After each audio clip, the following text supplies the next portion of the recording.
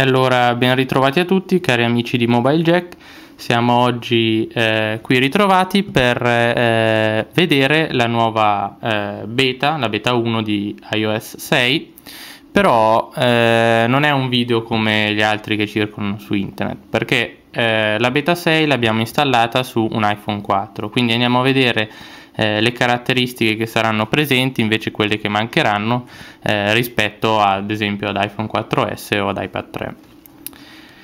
Allora, partiamo innanzitutto dallo, dal blocco a schermo, vediamo che eh, abbiamo un, una schermata diciamo più simmetrica, abbiamo la mancanza del lucchetto qua in alto, per il resto rimane tutto uguale, abbiamo ancora la possibilità di eh, accedere direttamente alla fotocamera quindi sblocchiamo e vediamo eh, innanzitutto che eh, abbiamo avuto un leggero restyling eh, di alcune icone come eh, può essere l'icona delle impostazioni che è stata leggermente modificata ma anche eh, l'icona dell'orologio che è stata leggermente anche questa modificata e abbiamo la nuova applicazione Passbook Andiamo a vedere eh, qualche caratteristica, eh, le caratteristiche principali, cioè le mappe in 3D eh, e quindi la navigazione turn by turn non sarà presente nell'iPhone 4, scelta di Apple.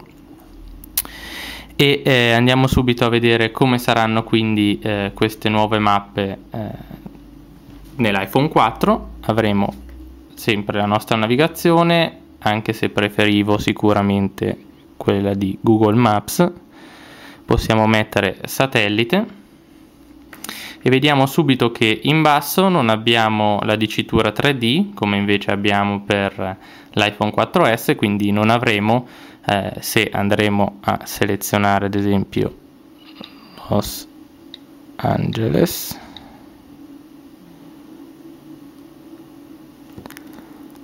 ecco, ho subito sbagliato, mi sa Los Angeles, andiamo a vedere Aspetta, cerchiamolo meglio.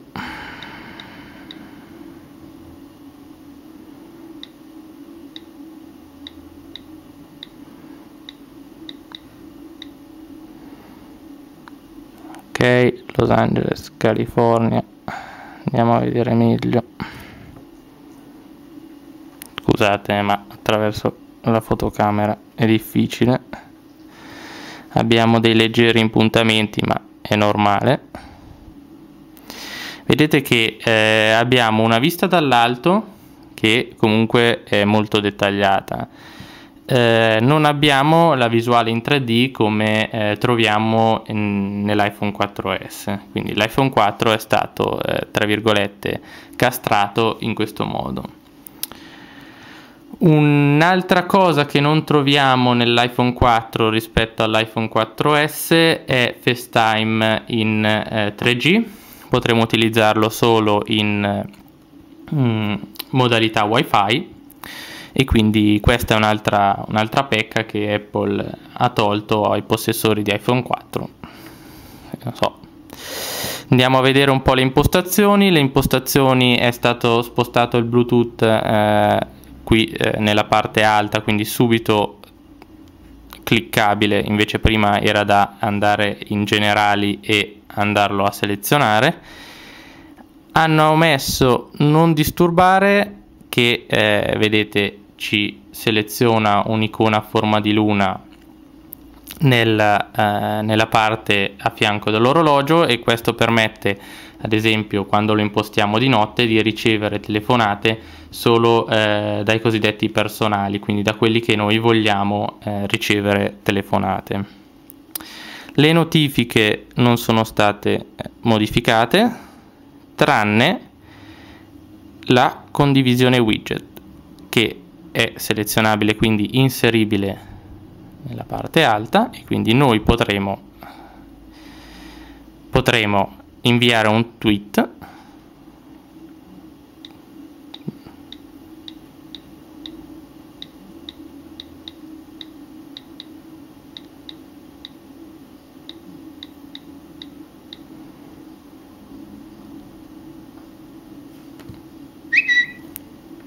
Oppure potremo inviare su Facebook. Ecco adesso ho sbagliato a cliccare e potremmo aggiornare lo stato anche su Facebook.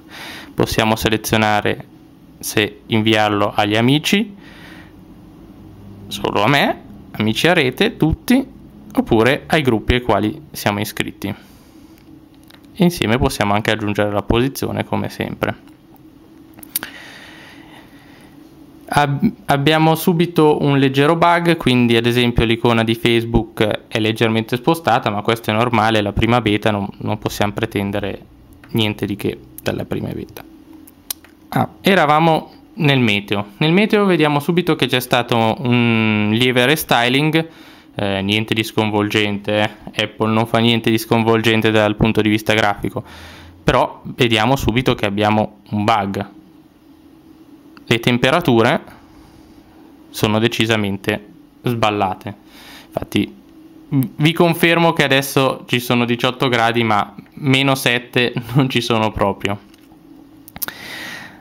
Andiamo avanti, Andiamo, eravamo sempre nelle impostazioni quindi qua manteniamo sempre le stesse di prima, abbiamo il non disturbare che può essere programmato in base a orari che noi scegliamo oppure applicato a orario indefinito e consentire chiamata da preferiti da nessuno o da tutti. Quindi possiamo selezionare da chi ricevere chiamate oppure da gruppi della rubrica. Andiamo indietro. Abbiamo ora un, un altro raggruppamento in cui troviamo il tab privacy privacy cos'è? Non è altro che eh, la localizzazione che prima era in alto, ora è stata raggruppata sotto il termine privacy e noi potremo selezionare quali applicazioni andranno a utilizzare la localizzazione e quali invece no. In più abbiamo i contatti, quali applicazioni andranno a utilizzare i contatti e quali invece vogliamo che non li utilizzino. Per il resto è stato unificato eh, nelle chiamate di FaceTime il nostro numero con eh, il, la nostra mail.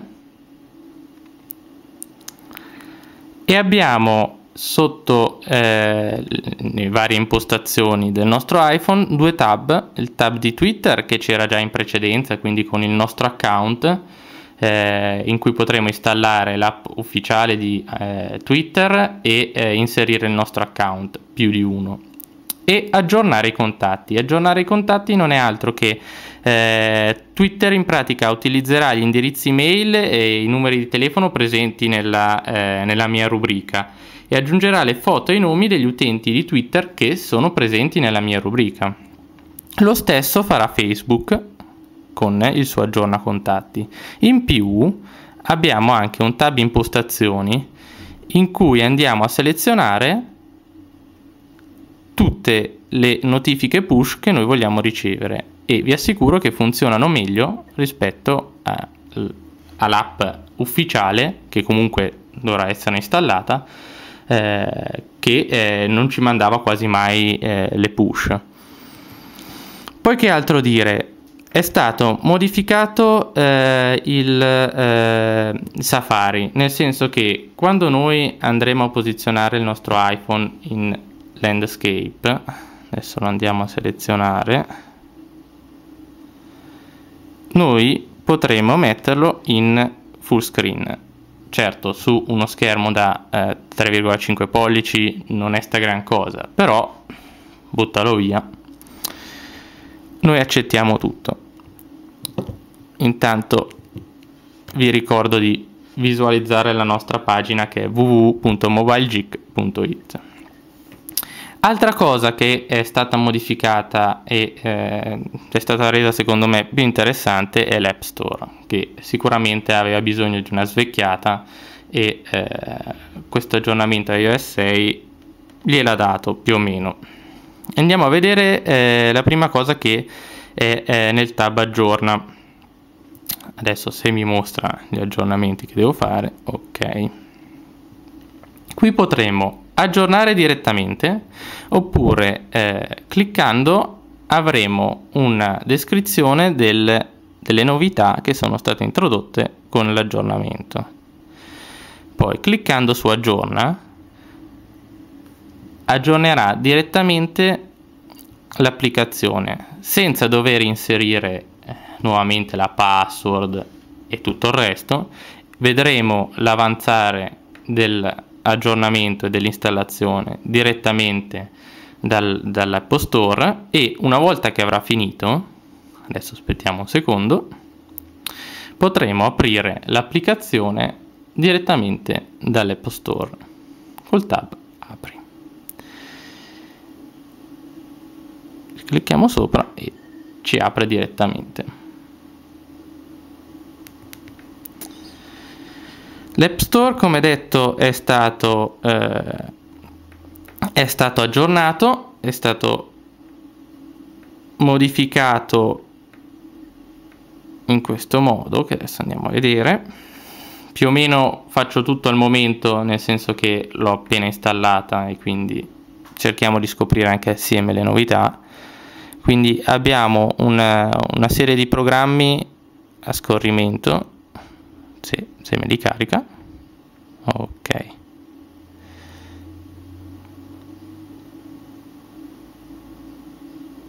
Quindi non avremo più la suddivisione come prima ma avremo queste grosse icone. Possiamo scorrere e visualizzarle. Il Genius se non ricordo male non funziona ancora quindi non è utilizzabile ancora su iOS 6 che altro dire? L'ultima cosa è in immagini. Noi abbiamo la nostra bella immagine e possiamo condividerla con un maggior numero di applicazioni rispetto a prima, non una cosa eclatante, eh, però è stato aggiunto Facebook, è stato aggiunto qualche altra chicca come questo, eh, questo menu in cui abbiamo tutta eh, una serie di possibilità di mh, mm, di inviare la nostra foto, ad esempio a Twitter, e noi la possiamo inviare, e quindi facciamo la nostra bella prova e invia. Ok. Vediamo se va. Ok. Ultima cosa è nel comparto mail che anche questo è stato modificato. Infatti avremo un aggiornamento quindi trascinando verso il basso come eh, ad esempio per chi utilizza l'applicazione di Twitter come Twitter. E eh, potremo inserire immagini direttamente nell'applicazione ed inviarle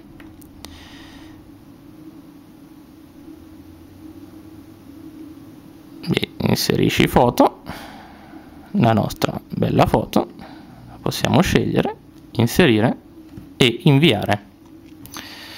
Quindi direi che eh, per, per, oggi è tutto. Spero di aver detto tutto e eh, aver completato quello che può essere il discorso iPhone 4 che eh, perde alcune cose rispetto all'iPhone 4S rimane comunque decisamente fluido e, e quindi vi rimando al, alle recensioni delle prossime beta da il Confa per Mobile Jack.